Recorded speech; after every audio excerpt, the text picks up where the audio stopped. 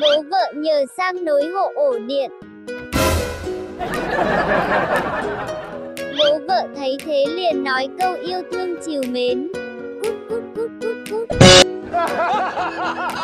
Có gì alo cho mình để mình báo giá cụ thể nhé. Có rất nhiều chương trình khuyến mại, hội múa hòm. Cho hỏi bố vợ với ông con rể chết hết chưa vậy? Ngu éo độ được. Hình ảnh bố vợ và con rể đang nô đùa sau khi nối dây điện. Hình ảnh sau đó.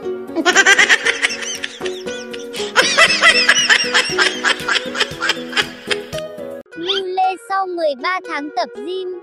Wow! Lắm bà lại ảo tưởng đi tập gym cho mà xem, tập kèm với chế độ ăn uống nữa. Vợ tao đi tập về ăn gấp đôi ngày thường bảo vì mất sức, mới có hơn tháng mà body đã như trên hình rồi nhưng nó từ phải sang trái.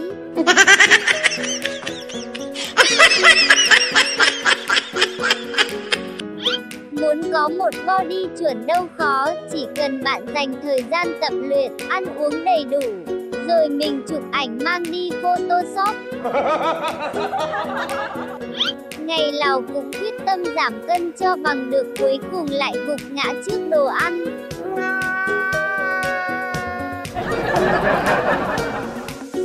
Mấy bà nhìn giới đi bộ hàng ngàn cây em kia lại còn ngày nào cũng than đói. Vậy mà có giảm ký nào đâu nên là cứ tập gym nhiều chắc gì đã giảm. May ra cưa đổ được mấy ông PT thôi. Nhớ lúc trước tao cũng có người xàm xàm đến tận khuya. Vậy mà bây giờ éo có ai? Mình chỉ là sự lựa chọn vào những lúc họ cô đơn thôi Nhiều lúc cũng muốn nhảy sông chết đi cho rồi. Nhưng nghĩ lại mình chưa biết bơi nên lại thôi.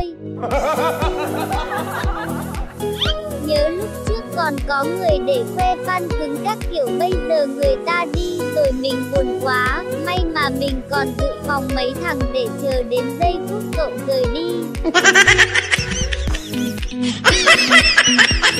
Bạn có người yêu rồi nhưng ai hỏi cũng bảo là chưa đấy. Bởi vì con gái có 2 mét con trai chỉ có một, chính là như thế.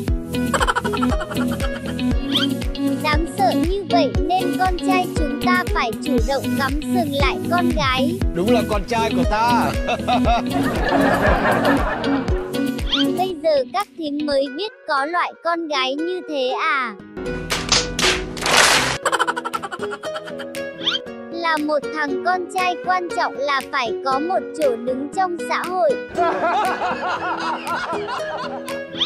Thế bọn con trai có người yêu rồi vẫn tán con khác đấy thôi. Ơ, nhưng mình làm phụ hồ hỏi 10 người thì cả 10 bảo có người yêu rồi là thế nào Sau khi bước lên ô tô 13 tỷ Trâm Anh lại cho ra clip mới 1 phút 38 giây tại Đà Lạt. Wow! Hy vọng 13 tỷ đó không tương đương với 13 giây. Lần này mà như lần trước là anh em chúng tôi không biết chui vào lỗ cống nào để trốn đâu. Lủng lẳng trông kinh quá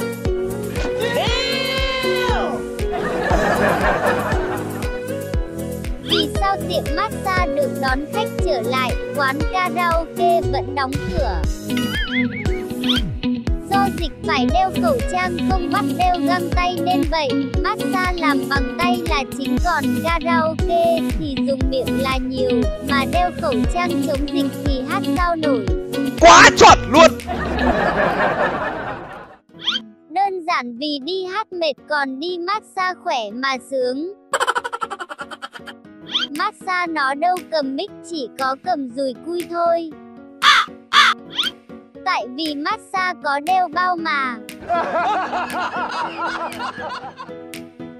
Rồi có một ngày bạn sẽ nhận ra con gái thực dụng thực tế là đúng.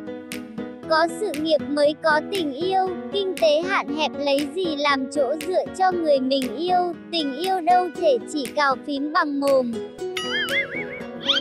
Tình yêu chưa chắc đi liền với vật chất, nhưng nếu có vật chất thì chắc chắn có tình yêu. Ờ, đến lúc bọn tôi giàu chắc bọn tôi cần mấy người, lúc tôi nghèo khó thì khinh bỉ ruồng bỏ, nghĩ gì lúc tôi giàu tôi cống hiến công sức của tôi cho mấy người. Mình chưa có người yêu, mình không thực dụng, mình tuy xấu nhưng được cái mình chảnh.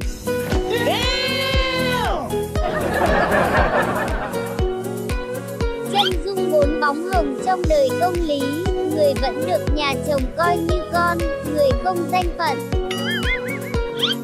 Anh ấy xứng được như vậy, là đại diện của nền tư pháp nước nhà, anh ấy xứng đáng có thêm một vài bóng hồng nữa, chúc anh luôn khỏe mạnh để duy trì hạnh phúc gia đình. Bố ông trông bân bẩn mà cũng tốt số gớm. Ông sạch sẽ như này ai đọ được. Năm nay 29 tuổi rồi, có định dẫn bạn gái về nhà không đây? Dạ vâng mẹ ạ. Cháu gái ngoại hình thế nào hả con trai? Cô ấy tàng hình mẹ ạ.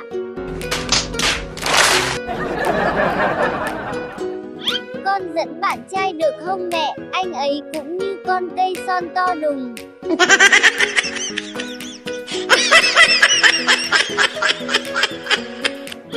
Ai có thuốc chữa tàng hình không? Đôi lúc mình sờ cô ấy cũng không có cảm giác. May thế mới 27 tuổi, 2 năm nữa mới bị mẹ hỏi như vậy. Và đăng ký kênh để nhận nhiều video mới nhất nhé.